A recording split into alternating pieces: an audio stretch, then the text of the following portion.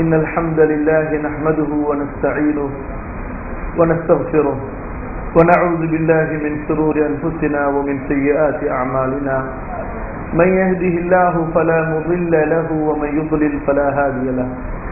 وأشهد أن لا إله إلا الله وحده لا شريك له. وأشهد أن محمدا عبده ورسوله.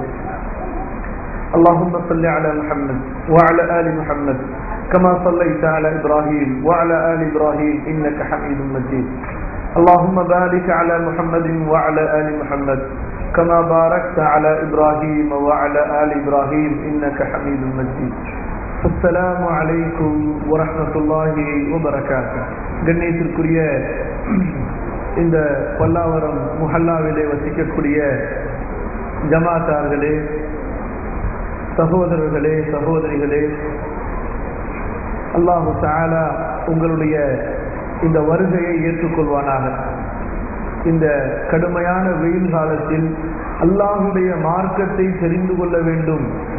மார்க்க சபைகளில் கலந்து அல்லாஹுடைய அருளை அடைய வேண்டும் என்ற அந்த உயர்ந்த நோக்கத்திலே இந்த கஷ்டமான சூழ்நிலையில் வேர்வை ஒரு பக்கம் சிந்த ஒரு பக்கம் பல வேலைகள் இருந்தும் அதையெல்லாம் விட்டுவிட்டு இந்த இடத்திலே அமர்ந்து நீங்கள் கேட்டுக்கொண்டிருக்கின்றீர்களே அல்ஹம்துலில்லா நிச்சயமாக இன்ஷா அல்லாஹ் நம்முடைய எண்ணங்கள் தூய்மையாக இருக்கும் என்று சொன்னால் இதற்குரிய கூலி சொர்க்கத்தை தவிர வேறு எதுவும் கிடையாது. இதற்குரிய கூலி இன்ஷா அல்லாஹ் அல்லாஹுடைய மன்னிப்பை தவிர வேறு எதுவும் இருக்காது. அல்லாஹ் சுஹான அப்படிப்பட்ட ஒரு தூய சபையிலே கலந்து கொள்வதற்கு நமக்கு வாய்ப்பு கொடுத்தானே நாம் எல்லாம் கூறுவோம் ஒரு முறை அல்ஹம்துல்லா அல்ஹம்துல்லா இன்று மக்கள் எல்லாம் பாவங்களை செய்வதிலே நாளை மறுமையில் நரகத்திற்கு செல்வதற்குண்டான டிக்கெட்டுகளை வாங்குவதிலே போட்டி போட்டுக்கொண்டு அலைந்து கொண்டிருக்கிறார்களே தங்களது நேரங்களையும் காலங்களையும் செல்வங்களையும் செலவு செய்து கொண்டிருக்கிறார்களே. அல்லாஹு தாலா சொர்க்கத்திற்கு டிக்கெட் வாங்குவதற்காக நம்ம இங்கே அனுப்பி வைத்திருக்கிறானே. அல்ஹம்துல்லா நாளை மறுமையில் ஜன்னத்தில் கிருதோசனுடைய உயர்ந்த இடத்தை நாம் இங்கே புக்கிங் செய்து கொள்வதற்காக நம்ம இங்கே அனுப்பி வைத்திருக்கிறாரே அல்லாவுடைய அந்த முகத்தை பார்க்கக்கூடிய வாய்ப்பை பெறக்கூடிய சொர்க்கவாசிகளில் ஆகுவதற்காக அல்லாஹ் ரப்புல் ஆலமின் நம்மை தேர்ந்தெடுத்திருக்கிறானே. ஆனல்லா இந்த உலகத்துடைய செல்வங்கள் இந்த உலகத்துடைய பதவிகள் இந்த உலகத்தில் இருக்கக்கூடிய எந்த ஒன்றும் அந்த அற்கொடைக்கு ஈடாக முடியாது நிகராக முடியாது. ஆரம்பமாக குரானுடைய ஒரு வசனத்தை உங்களுக்கு ஓதி காண்பித்து விட்டு இன்ஷா அல்லாஹ் சொர்க்கத்தை பற்றி அல்லாஹ் ரப்புல் ஆலமின் அவனுடைய குர்ஆனிலே கூறியிருக்கக்கூடிய ரசூலுல்லாஹி சல்லாஹூ அழகி வசலம் அவர்கள் தங்களுடைய ஹதீஸிலே கூறியிருக்கக்கூடிய விஷயங்களை நாம் பார்ப்போம். அதிலும் குறிப்பாக இந்த குறுகிய நேரத்திலே சொர்க்கத்தை பற்றி உண்டான எல்லா விஷயங்களையும் சொல்லி முடிக்க முடியாது.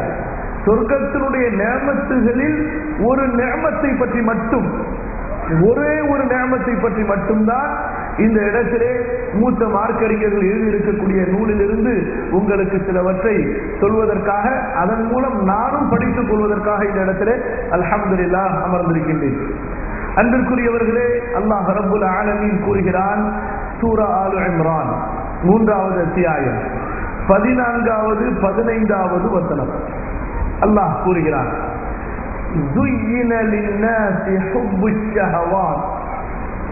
மக்களுக்கு இந்த உலக வாழ்க்கையிலே அவர்கள் விரும்பியதை அடைய வேண்டும் என்ற மோகம் அந்த ஆசை அலங்கரித்து காட்டப்படுகிறது.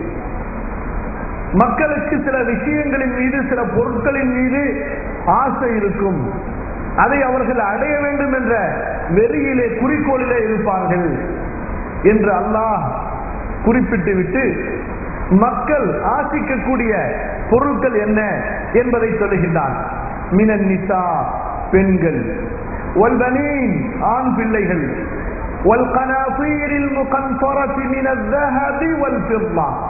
தங்கம் வெள்ளியினுடைய குவியல்கள். காசு காசு வேணும் பணம் வேணும். ரசூல்லா இஸ்லாலிஸ்லம் அவர்கள் சொல்வது போன்று சஹிபுல் புகாரியினுடைய அறிவிப்பு மனிதனுக்கு ஒரு தங்க ஓடை இருந்தால் தங்க வயல் இருந்தால் அவன் இரண்டு வயல் தனக்கு வேண்டும் என்று ஆசைப்படுவான். இரண்டு வயல் இருந்தால் மூன்றாவது ஒரு தங்க வயல். அரிசி வயல் அல்ல கோதுமை விளையக்கூடிய வயல் அல்ல. என்ன வயல்? தங்க வயல் தங்கமாக நிரம்பி இருக்கக்கூடிய ஓடைகள் பள்ளத்தாக்குகள். எத்தனை ஏக்கர்ல இருக்கும்? குறைஞ்சது ஒரு ஏக்கர்னு வைங்க. ஒரு ஏக்கர் முழுக்க தங்கத்தை இவனுக்கு நிரப்பி கொடுத்தாலும் இவன் இது போன்று இன்னொரு ஏக்கர் வேண்டும் என்று விரும்புவான். இரண்டு கொடுக்கப்பட்டால் மூன்றை அடைய வேண்டும் என்று விரும்புவான். இப்படிப்பட்ட காசாசையின் கொடூர பசி பிடித்தவர்களை பார்த்து அல்லாஹ் சொல்கிறான் அல்ஹாக்கு முத்தகாசுர் ஹத்தா அதிகம் வேண்டும் வேண்டும் என்ற பேராசை காசாசை பண ஆசை உங்களை அல்லாஹுவை மறக்கச் செய்து விட்டது நீங்கள் இதே நிலையில் கபறுகளையும் சந்தித்து விடுகிறீர்கள். பார்த்துக்கலாம். ஐம்பது வயசுக்கு மேல ஹஜ்ஜுக்கு போயிடலாம். ஹஜ்ஜுக்கு போயிட்டு வந்ததுக்கு பின்னாடி தொழுகையை ஆரம்பிச்சுக்கலாம். அதற்கப்புறமா ஜகாத்து கொடுத்துக்கலாம். அதுக்கப்புறமா டிவி பார்க்கறத நிப்பாட்டிக்கலாம். அதுக்கப்புறமா ஹராமான வியாபாரங்களை எல்லாம் தடுத்துக்கலாம். அது வரைக்கும் வட்டி வாங்கிக்கலாம். அது வரைக்கும் தாடியை தடுத்துக்கலாம். இன்னும் என்னென்ன பாவங்கள் இருக்குதோ எண்ணிக்கிட்டே போங்க. யாருக்கு என்ன உறுதி இருக்கிறது? எந்த நேரத்திலே அழைப்பவர் அழைப்பார். அவரை தடுப்பவர் யாரும் இருக்க மாட்டார். எந்த கதவும் அவரை தடுக்க முடியாது. எந்த கோட்டையும் அவரை தடுக்க முடியாது. எந்த சிப்பாய்களும் அவரை தடுக்க முடியாது. எந்த இடத்தில் இருந்தாலும் சரி நீங்கள் எவ்வளவு உயரமான கோட்டைக்குள் இருந்தாலும் சரி எவ்வளவு பலமான படைகளுக்கு மத்தியில் நீங்கள் இருந்தாலும் சரி ஐநமா தகூனு யுதுரிக்குமுல் மௌத் வலவ் குன்தும் ஃபீ புரூஜின் செய்யதா உயரமான பலமான கோட்டைக்குள் நீங்கள் உங்களை பாதுகாத்துக் கொண்டாலும் மரணம் உங்களை பிடித்தே தீரும். குல் இன்னல் மௌத்தல்லதி தஃபிர்ரூன மின்ஹு ஃபஇன்னஹு முலாகீக்கும் எந்த மரணத்தை பார்த்து நீங்கள் பயந்து ஓடுகிறீர்களோ இந்த ஆஸ்பத்திரில இருந்து அந்த ஆஸ்பத்திரி அந்த ஆஸ்பத்திரில இந்த ஆஸ்பத்திரி பெரிய ஆஸ்பத்திரி அந்த டாக்டர் இந்த டாக்டர் என்று நீங்கள் ஓடுகிறீர்கள் அல்லவா மரணத்தை பயந்து? அந்த மரணத்தை நீங்கள் தேட அது உங்களை தேடி வரும் போங்க நீங்க போயிட்டே இருங்க. நீங்க எவ்வளவு தூரம் போகணுமோ போயிட்டே இருங்க. உங்களுடைய பயணம் அங்கே உங்களுக்கு மரணம் இருக்கிறது என்பதற்குண்டான அடையாளம். எந்த மரணத்தை பார்த்து நீங்கள் பயந்து ஓடுகிறீர்களோ அது உங்களை சந்திக்க வரும். நீங்கள் அதை தேட வேண்டியது கிடையாது. சும்ம துரத்தூனையில ஆணிமில் கைவி வச்சா மறைவையும் வெளிப்படையானதையும் அறிந்திருக்கக்கூடிய அறிஞனான கல்விமானான நுட்பமாக அறிந்து வைத்திருக்கக்கூடிய அந்த அல்லாஹுவிடத்திலே நீங்கள் கொண்டு வரப்படுவீர்கள். எங்கேயும் ஓட முடியாது. No escape no way to escape எங்கேயும் தப்பிக்க முடியாது.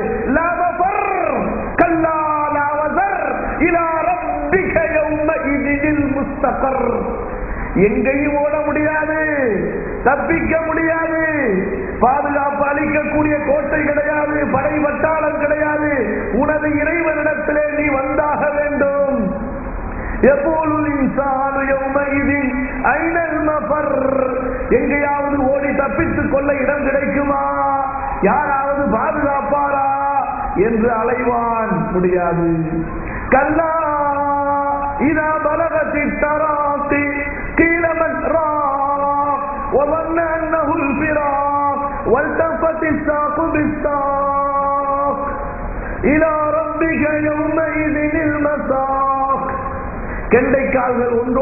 பின்னிக் கொள்ளும் பொழுது உயிர் தொண்டையை அடையும் பொழுது யாராவது ஓதி பார்க்க வரமாட்டார்களா? இவனது உயிரை காப்பாற்றக்கூடியவர் யாரும் இல்லையா? என்று மக்கள் கேட்கும் பொழுது அல்லாஹ் சொல்லுவான் இது அந்த நேரம் அல்ல இது வேற நேரம். உனது இறைவனை சந்திக்க வேண்டிய சமயம் வந்துவிட்டது. எல்லாம் எதுவும் பலனளிக்காது. எந்த மருத்துவரும் காப்பாற்ற முடியாது. எந்த மருந்தும் வேலை செய்யாது. எல்லாம் கையை தூக்கிடுவாங்க. கடவுள்கிட்ட பிரார்த்தி பிரார்த்தனை செஞ்சுட்டு. செஞ்சிருவாங்க. கையை தூக்கி விடுவார்கள். அந்த நேரத்திலே அல்லாஹ் ஒருவனை தவிர வேறு யாரும் அவனுக்கு நினைவுக்கு வரமாட்டார்கள். அன்பிற்குரியவர்களே காசு காசு அலைகிறார்கள் யார மறந்துடுறாங்க? அல்லாஹுவை மறந்து விடுகிறார்கள். யா ஐயுகல்லதீன ஆமனு لا تلهكم